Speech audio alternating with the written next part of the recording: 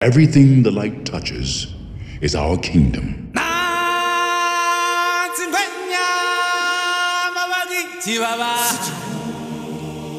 The music alone, it really strikes you deeply.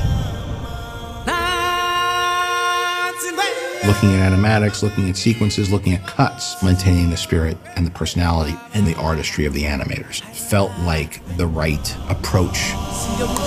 We bring real human collaboration. Run for your life, Pumbaa! It's nice to have actors who are both the performers and the singers. You can't win, Scar! And then the humanity of those performances and the naturalism of those performances coming from the artistry of the animators.